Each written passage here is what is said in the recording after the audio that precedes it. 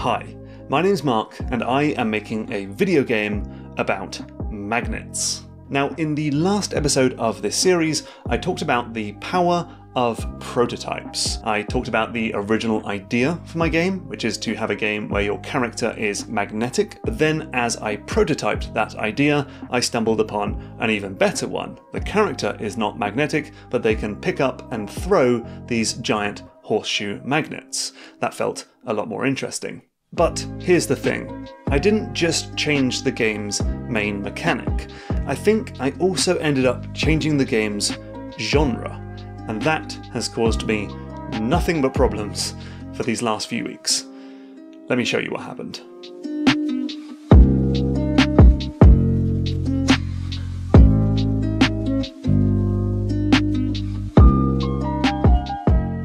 Okay, so the original idea for this game was very much for it to be a platformer. I was taking influence from Mario and Super Meat Boy and Celeste and N++.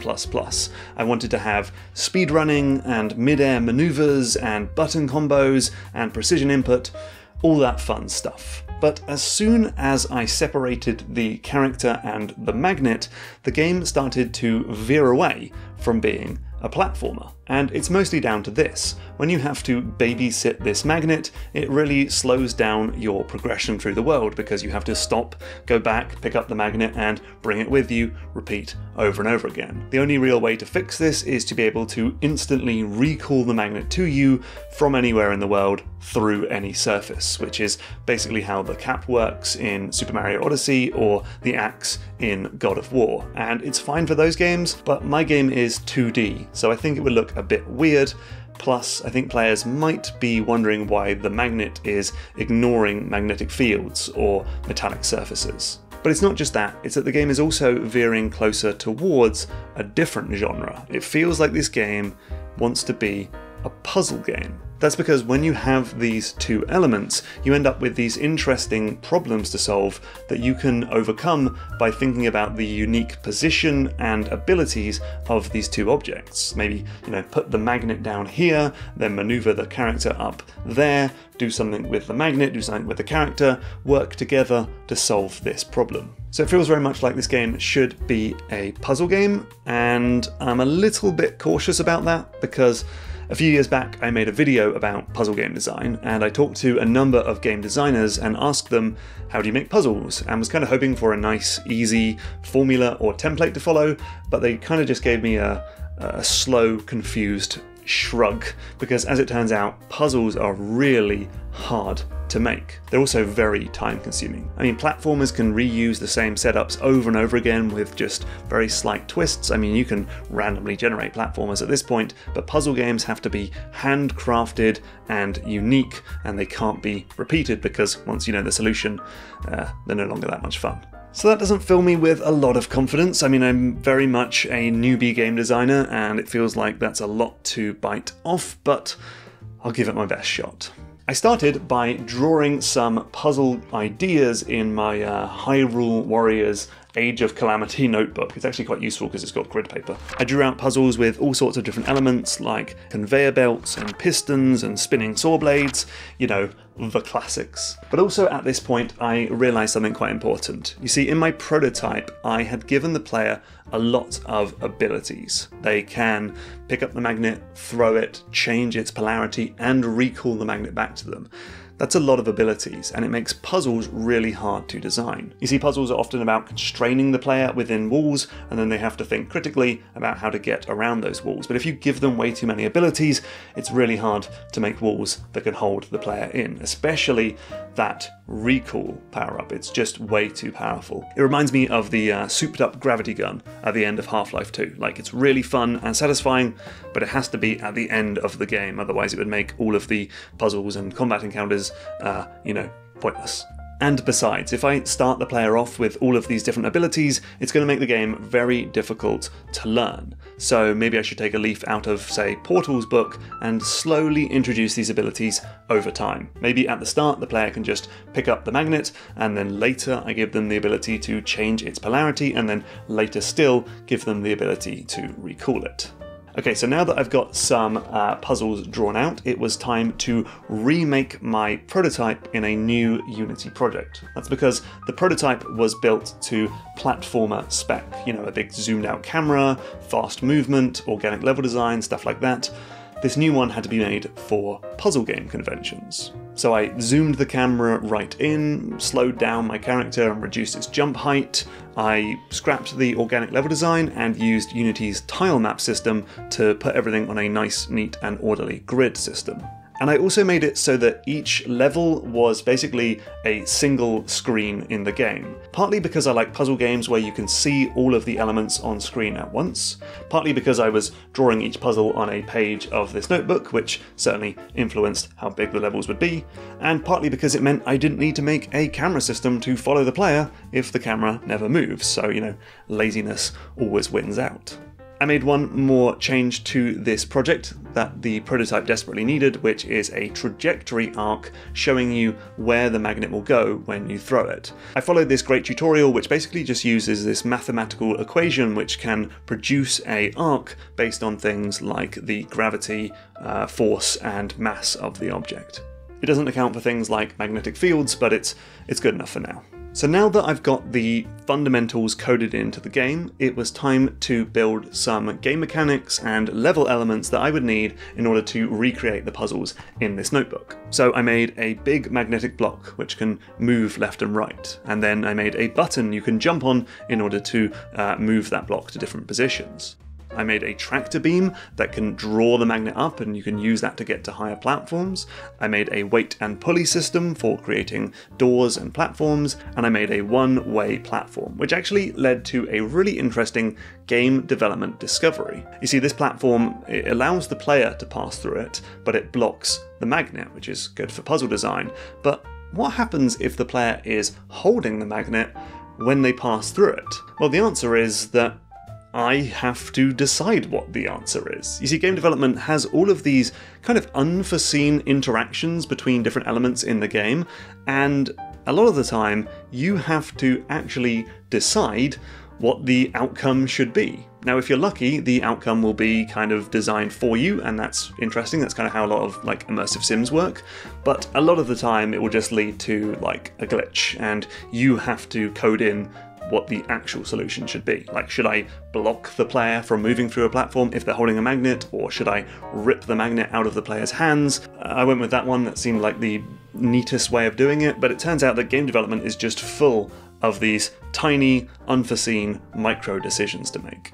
Anyway, at this point, I had built myself a number of small, single room puzzles, and I thought, Perhaps I could string these together in order to make a demo to give to some people to get some feedback on what they think about the game. So I started putting it together and added in some elements that I would need in order to make a demo, like being able to pause the game, uh, mouse control if they don't have a controller, a title screen, uh, scene management for moving between levels, and you know clean up some uh, bugs and, and bad code. And at this point, I was almost ready to compile a demo to give to people.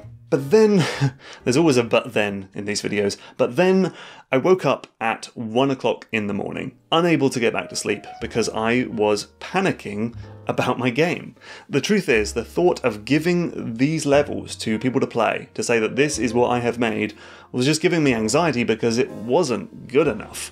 These puzzles were just bad and uninteresting, the levels felt small and claustrophobic, and it had just gotten so far away from what I originally wanted to make. Remember, I wanted to make a game about speedrunning, about speed and precision and fluidity, and I'd made this game that was claustrophobic and small and plodding and slow. Is this really what I wanted to be making? So I went downstairs at like 3 a.m., uh, opened up Unity, and tried to make a level that would show me what would this game look like if I had made it be more like a platformer. So I combined the tractor beam and the one-way platform into one thing so that you can ride the tractor beam up let go of the magnet just before it hits the platform. That allows you to rocket out the top, then you can recall the magnet through the platform, uh, maneuver yourself into another magnetic field, and repeat this until you get to the top of the level. That was pretty cool, so I decided to iterate on it a bit further and ended up with this crazy level. So you grab the magnet, ride up this tractor beam, let go, recoil the magnet, throw it at this weight to open this door, thread through this needle, press this button, ride this block up, jump, recoil the magnet into your hand, sail over into this other tractor beam, uh, ride it up, let go, and land at the exit. This felt really cool. This was fun. This was a lot closer to what I wanted to make in the first place. So maybe I'm not making a puzzle game, maybe I am making a platformer. Scrap all those old levels, we're doing this now. Now, this level does have a problem, which is that it's very difficult. Uh, you need to understand all of these different mechanics in order to be able to do it, and also it revolves around the recall, which, as I said, does have to be a late game ability, so I also need to unlock that for the player. So, how about this? This platforming level is the last level in the game, and then I make a bunch of small platforming levels that lead up to it, and in each one I'm teaching you the mechanics and button presses and unlocking the abilities that you will need in order to ace this final level when you get to it. That sounds like something I can do.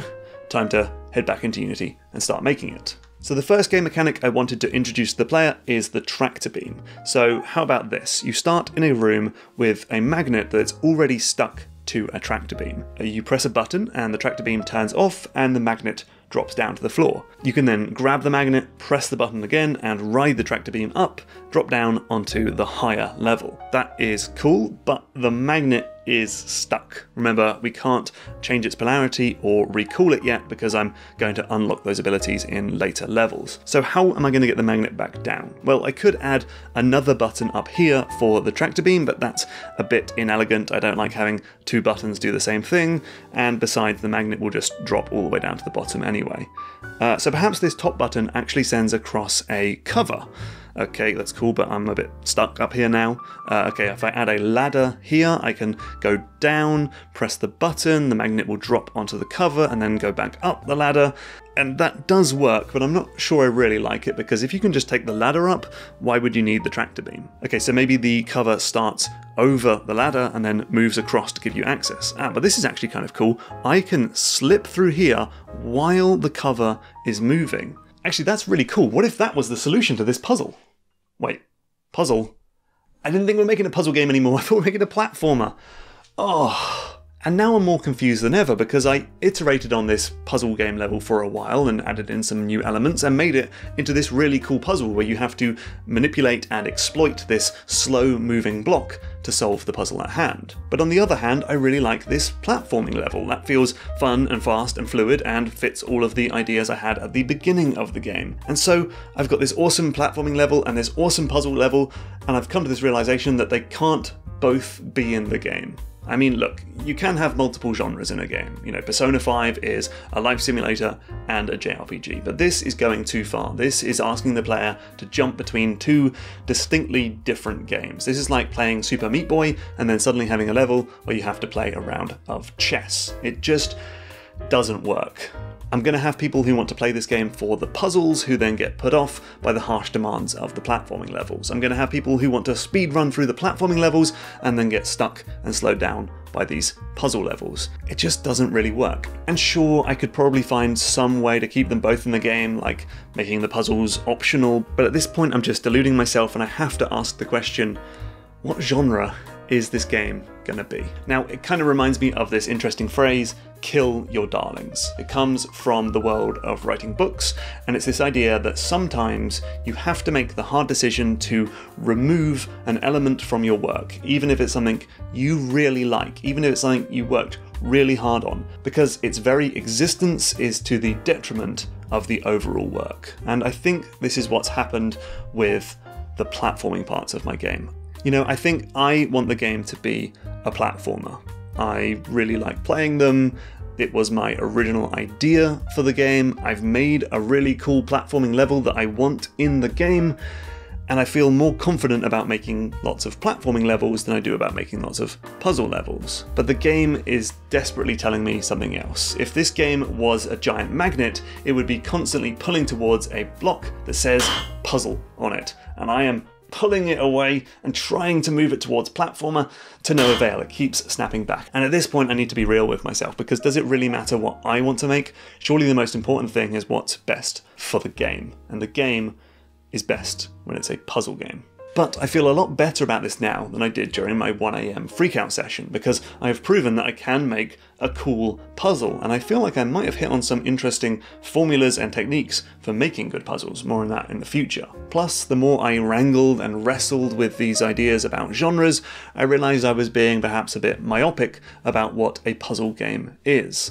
If I move away from these tight single screen grid based puzzle games and go towards more of the puzzle platformer type thing, we can see games like Limbo, which does have these long continuous worlds to explore, or Portal which does require platforming prowess to solve some of the puzzles. So perhaps I can keep some platforming elements in my game. I can have enemies, I can have long continuous levels, I can have platforming sections, as long as they always run secondary to the puzzles, which have to be the dominant part of the genre. Now I could end the video there and say that this was a video about being indecisive about the genre before finally coming to the realization that it has to be a puzzle game and then, you know, next episode I make a bunch more puzzles. But I think that might be missing the wood for the trees. You see, this is actually just one small symptom of a much larger problem. I've talked about how I'm being indecisive about the game's genre, but if you watched me making the game in Unity these last few weeks, you'd see me being indecisive about everything. I'm constantly trying and changing and messing around with different elements and ideas as I struggle to understand the identity of this game. I keep asking myself questions like what if the magnet was attached to the player by a rope and you can swing around with it? What if this game was more physics based and you could attach the magnet to things to make them topple over? What if this game had uh, enemy encounters or even boss fights?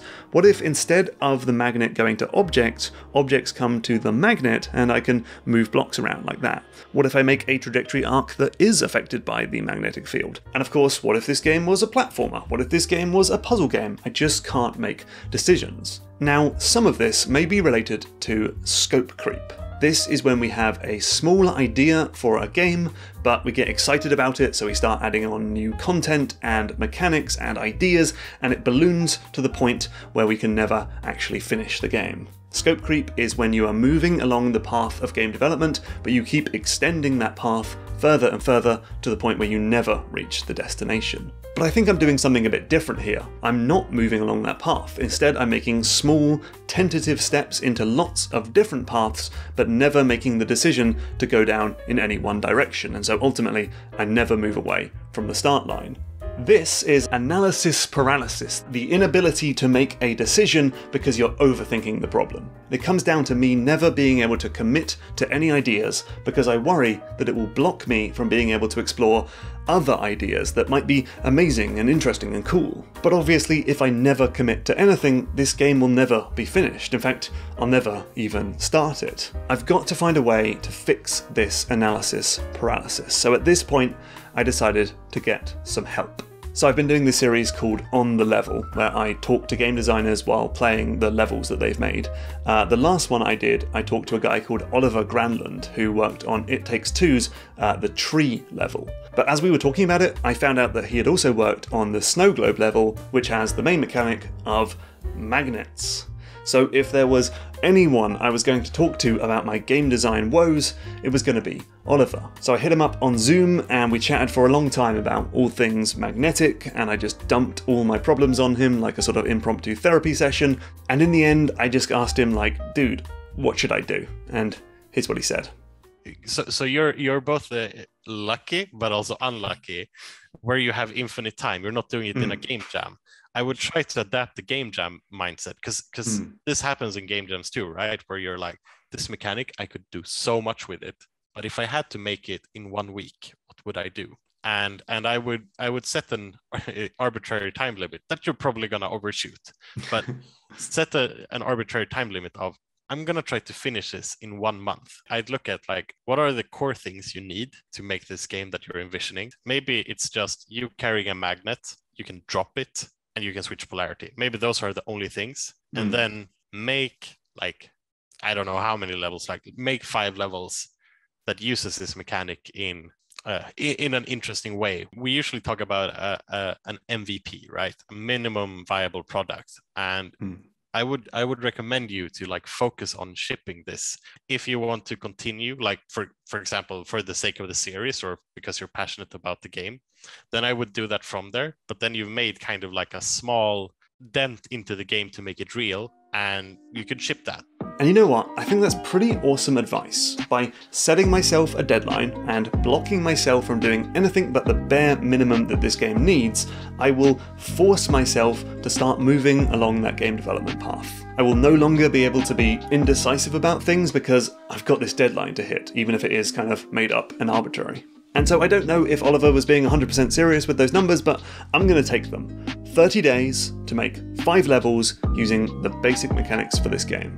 Not 30 days in a row, I've got to take breaks, I've got to make other types of videos, there's Christmas coming up, but 30 days in total. How much game can I make in that time? Will I hit my target of 5 levels? What will Oliver think of my game? We'll find out sometime in January. Thanks for watching, and I'll see you then. Hey, so before I go, I wanted to give a quick shout out to GMTK patron Very Softwares, who took on the challenge of actually making my Picross RPG from the last episode. The resulting game is row by row. In this one, you have these spells which you can cast as long as you can plot down the appropriate number of tiles on the Picross board. It's pretty clever, and it does indeed make you think very tactically about how you're going to solve the puzzle, and asks you to change your strategy based on things like the number of enemies or your own dwindling health. It's a smart game made by a smart person. You can try the game for yourself over on itch.io, and there's a link in the description.